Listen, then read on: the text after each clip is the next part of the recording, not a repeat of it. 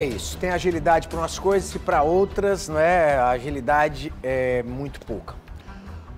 Olha, gente, vou trazer agora uma entrevista, não é, com o sanfoneiro Zé Ivan. Mostramos aqui um caso ontem, o conflito do Zé Ivan com a sua esposa, né, ex-mulher, acusado pela ex-esposa, o Zé Ivan, de agressão. Um vídeo que circula nas redes sociais mostra o momento em que há uma discussão ali entre ele e a ex-companheira, na presença da atual esposa. Zé Ivan afirma que não provocou a situação. Nós vamos conferir agora né, a versão do Zé Ivan na matéria de Ana Flávia Bezerra. Aqui na tela. Há quase uma semana, a digital influencer Ive Lima foi às redes sociais e denunciou o ex-marido Zé Ivan, que é sanfoneiro, por agressões. Hoje nós estamos aqui conversando com Zé Ivan a pedido dele, porque ele quer esclarecer o que teria acontecido naquele dia. O que foi que aconteceu naquele momento? É isso mesmo. Pronto, eu vim aqui para esclarecer todos vocês que não sabem realmente da verdadeira história, certo? Eu marquei com meus filhos às 17h30, dia 11 de agosto, uma quarta-feira.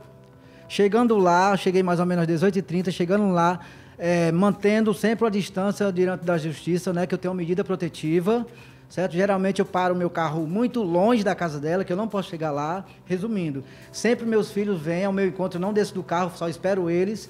E quando eu cheguei lá, veio ele eles dois, mais a mãe dele, Ive Lima, certo? Chegando lá, próximo do meu carro, ela abriu a porta do carro de uma vez, entrou meu primeiro filho. Ela entrou no meio do no, no, meu, no banco do meio. Eu olhei, você vai para onde? Vim aqui conversar com vocês, vocês dois, que a minha companheira estava comigo, sempre mantendo a distância, sabendo que eu tenho uma medida protetiva, certo? Ela entrou no carro de uma vez, invadiu o carro. Eu disse: Ive, eu não quero conversa com você, porque se você quer pensão você quer pensão? Vá para a justiça, rapaz. Eu já dou pensão dormindo do jeito que o juiz determinou, certo? Eu venha me tirar do carro. Eu desci do carro.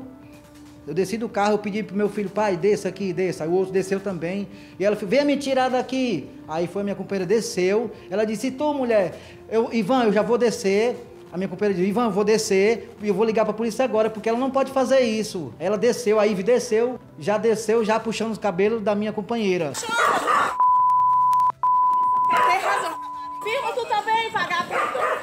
Quando cheguei lá, vamos conversar, quero conversar com você. Aí ele não disse nada, quem primeiro falou foi a atual dele. Se exaltando logo, eu não tenho nada para conversar com você. Não tenho nada para conversar com você, saia daqui. Aí eu disse, eu disse não tenho nada para conversar com você também não, eu vou conversar com o pai dos meus filhos. Até então ele não tinha se alterado. Aí depois ele começou a se alterar e mandou ela ligar a polícia para ligar a poli, ligar para a polícia para mim. Aí ficou eles dois, super alterado. Eu tô aqui para me provar a minha inocência que eu não sou assim. Eu sou Você pessoa nunca pública. Bateu na sua. Nunca, 17 anos. Ela que me prove que eu bati nela e me prove que eu bati na quarta-feira nela. Traga as provas, eu vou. Eu quero que os policiais investiguem, viu? investigue, me prove, me prove aqui perante a polícia e ao público que está que tá nos assistindo agora, que eu nunca trisquei o dedo na Ive. Pelo contrário, ela que me batia, ela levantou faca para mim, na frente dos meus filhos, mas nunca fui em redes sociais denunciar ela. Só agora que eu vi, porque eu, eu sou um trabalhador, cara. Eu, todo mundo merece ser feliz. E mais de ano que ela vive me perseguindo, defamando minha imagem. Eu não sou essa pessoa que ela está falando, gente. Quem me conhece sabe. Zé Ivan, eu queria então que você me dissesse como é que, como é que os seus filhos né, ficaram no momento em que tudo aconteceu, porque eles estavam lá, eles presenciaram tudo, né? Eu vou ser sincero para vocês que, que estão me assistindo agora. Meus dois filhos estão doentes. Estão doentes, eu, eu não sei o que fazer, porque eu, eu sempre fui pai, quem me conhece sabe. Eu sempre lutei por meus filhos. Quando eu vejo meu filho todo se tremendo.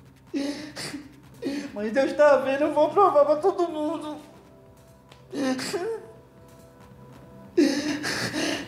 Eu vou provar para todo mundo quem você é, porque eu não mereço isso que você está falando, não. Eu não mereço isso, não, cara. Eu sou um trabalhador, todo mundo me conhece. Eu sou um pai de família, eu sempre trabalhei para meus filhos. E você está deixando nossos filhos doentes.